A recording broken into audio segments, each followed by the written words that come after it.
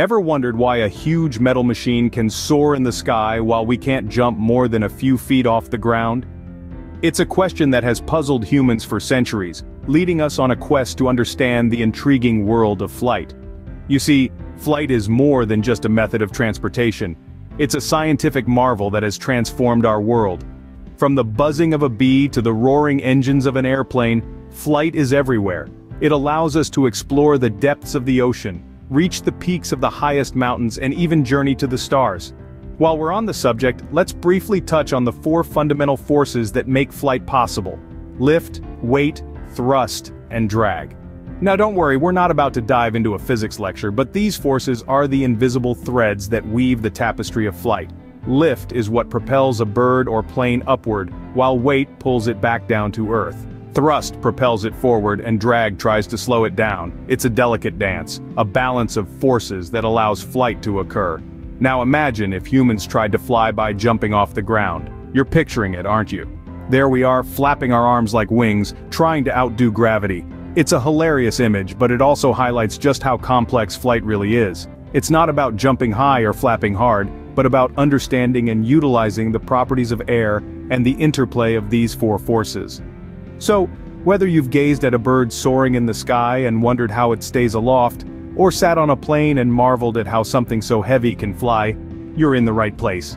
We're about to unravel the secrets of the sky, the science behind flight, and the mechanisms that keep us airborne. Well, stick around, and you'll soon be able to explain this mystery to your friends. It's not magic folks, it's all about the four forces of flight. So let's dive right in. Imagine you're holding a paper airplane. You've just given it a mighty throw and it's soaring through the air. There are four forces at work here, guiding that paper plane on its journey. These same forces are at play in real airplanes, birds, and even insects. We just heard about them a few seconds ago, but they are lift, weight, thrust, and drag. First up, we have lift. Lift is the force that pushes an airplane upwards, against the pull of gravity. It's kind of like an invisible hand that reaches up from the ground and gives the airplane a boost. Lift is created when air flows over and under the wings of an aircraft. The air moves faster over the top of the wing and slower underneath, creating a pressure difference. This difference is what gives the aircraft its lift. Picture it like this, imagine you're at a crowded concert, and you're trying to reach the front.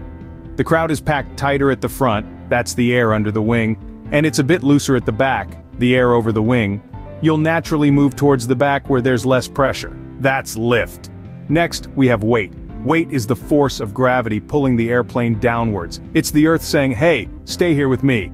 But the airplane wants to fly, and so it fights against this pull. Weight is always there, whether the plane is on the ground or in the air. The heavier the plane, the stronger the weight force and the more lift is needed to keep it in the air. Then, there's thrust. Thrust is the force that propels the airplane forward. It's like the push you give your friend on a swing to make them go higher. In an airplane the engines provide the thrust, pushing the airplane through the air.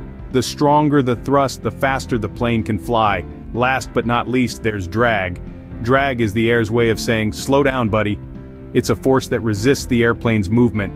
Think of it like trying to walk through a pool of honey. The honey slows you down, right? That's drag. There are two kinds of drag. Parasite drag, which includes form drag and skin friction, and induced drag, which is related to the creation of lift. Now these four forces don't work independently. They're a team, constantly interacting with each other. When an airplane is in steady level flight, these forces are balanced. Lift equals weight, and thrust equals drag. But if any of these forces change, the others must adjust to keep the plane in the air. For example, if the airplane wants to climb, the pilot increases the thrust. This creates more lift than weight, and the airplane rises. On the other hand, if the pilot wants to descend, they reduce the thrust.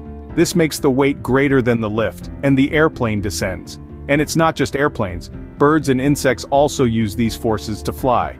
A bird flapping its wings is creating lift and thrust, while its body weight and the air resistance create weight and drag. So the next time you see a plane soaring in the sky, or a bird flapping its wings remember, it's not magic, it's the incredible interplay of lift, weight, thrust, and drag. So now you know the four forces that keep that airplane from dropping out of the sky? Scene script. Ever thought of how pilots control these forces to steer the plane? Let's find out. Imagine you're on a seesaw, you're trying to balance it perfectly with your friend on the other end but you're a bit heavier. To balance it out, you scoot closer to the center. altering your weight distribution. In a similar way, pilots and birds alike manipulate the forces of flight to maintain balance and control their movement. Let's start with the flying machines. When a plane wants to go up, it needs more lift than weight. So the pilot will increase the angle of the wings, effectively increasing the lift. This is much like leaning back on your seesaw to lift your feet off the ground, but to descend, the pilot will do the opposite, reducing the angle of the wings, therefore reducing lift and allowing the weight to take over. Now what about steering left or right? Well, the pilot can alter the balance of lift between the wings. By increasing the lift on one wing and decreasing it on the other, the plane will bank and turn. It's like if you and your seesaw partner decided to shift your weights to one side, the seesaw would tip over, right? Same concept. But planes aren't the only ones mastering the art of balance in the sky. Birds, bats, and even insects have their methods too.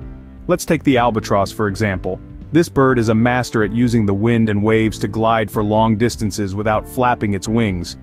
By subtly altering the angle of their wings in response to changing wind conditions, they can maintain balance and control their flight path. It's like they're surfing the air.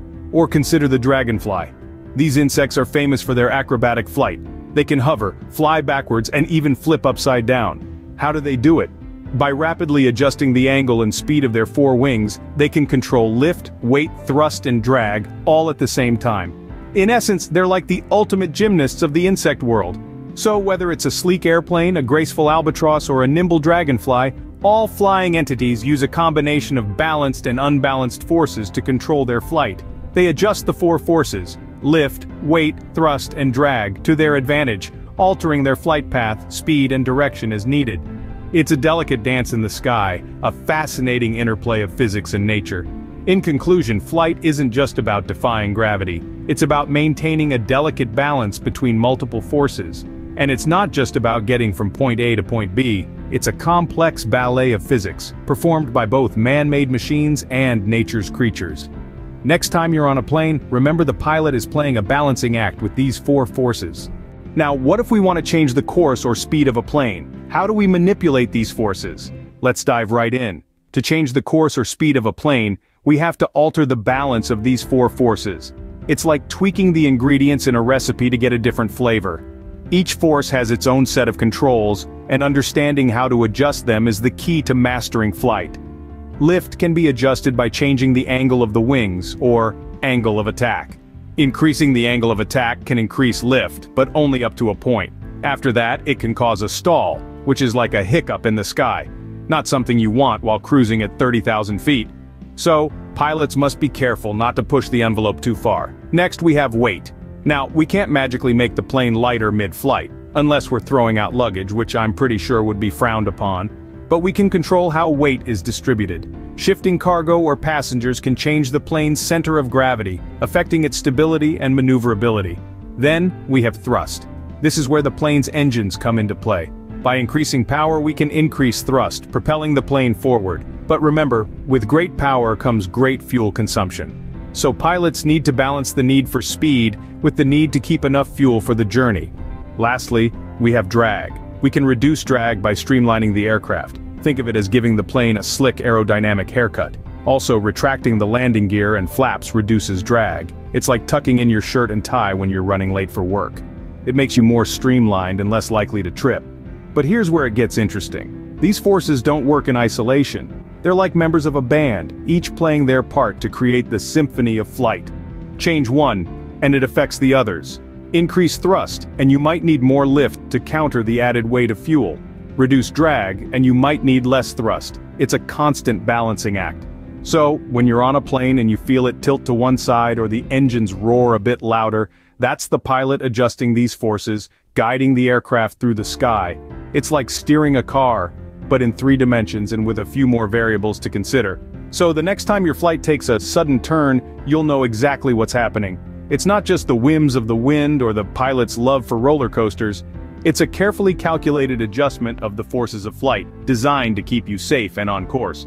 So sit back, enjoy the ride, and marvel at the wonder of flight. It's not just science, it's an art. Now, let's look at the natural world. How do birds and insects manage to fly? The art of flying, as showcased by birds and insects, is an intricate dance of physics and biology, refined through millions of years of evolution. When we delve into the world of these flying marvels, we're met with a fascinating blend of characteristics and adaptations that make flight possible. Take birds for instance. Their bodies are designed for aerial efficiency. They have lightweight bones, a streamlined shape and mighty muscles connected to their wings, which provide the thrust and lift needed to take to the skies. Their feathers too play a crucial role, forming an airfoil shape that creates lift when air flows over them. And let's not forget the tail feathers, acting like a rudder of a ship, guiding and controlling their direction. Insects, on the other hand, use a different approach. They have two sets of wings that can beat at an incredibly fast rate. This not only provides lift but also allows them to hover, dart and change direction with a precision that would make any fighter pilot green with envy. Some insects, like the dragonfly, can even move each wing independently, offering unparalleled maneuverability. But it's not just about the physical attributes. The art of flying also involves a keen sense of balance and an understanding of air currents. Birds, for instance, can sense changes in air pressure with their inner ears, allowing them to adjust their flight accordingly. Similarly, many insects can detect changes in wind direction and speed using their antennae, enabling them to navigate efficiently.